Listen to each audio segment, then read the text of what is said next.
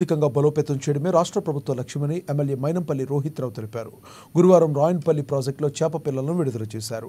ఈ కార్యక్రమంలో పాల్గొన్న ఆయన మాట్లాడుతూ మత్స్యశాఖ ఆధ్వర్యంలో ఒక లక్ష పదమూడు వేల ఆరు వందల డెబ్బై రెండు చేప పిల్లలను ఒక లక్ష ఎనభై వేల ఖర్చుతో చేప పిల్లలను విడుదల చేసినట్లు చెప్పారు.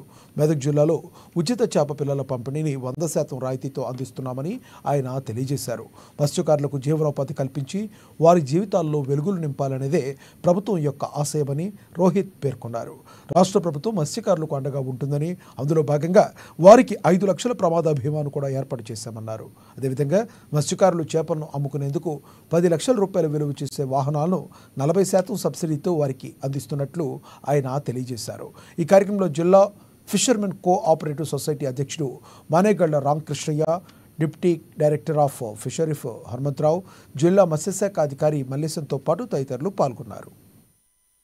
మన కాంగ్రెస్ ప్రభుత్వం ప్రజా ప్రభుత్వం ప్రజాపాలన వచ్చినాక మరి అరవై ఆరు లక్షల చేప పిల్లలు ఫ్రీగా అంటే ఉచితంగా దాదాపు ఎనభై రెండు చెరువుల మరి మనము ప్రభుత్వం ద్వారా మరి ఇవ్వడం జరుగుతుంది.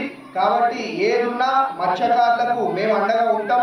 మరి మొన్ననే మరి మన స్కీమ్ ద్వారా ఐదు లక్షల రూపాయల ఇన్సూరెన్స్ కూడా అంటే ఎవరైనా చనిపోతే ఏదైనా ప్రమాదం అయితే మరి ప్రభుత్వం నుంచి ఐదు లక్షల రూపాయలు ఇవాళ ఇన్సూరెన్స్ ఇస్తా ఉన్నాము కాబట్టి మత్స్యకారుల అభివృద్ధి కోసం పనిచేస్తాం గ్రామ అభివృద్ధి కోసం పనిచేస్తాం నియోజకవర్గ అభివృద్ధి కోసం పనిచేస్తాం జిల్లా జిల్లా అభివృద్ధి కోసం పనిచేస్తాం.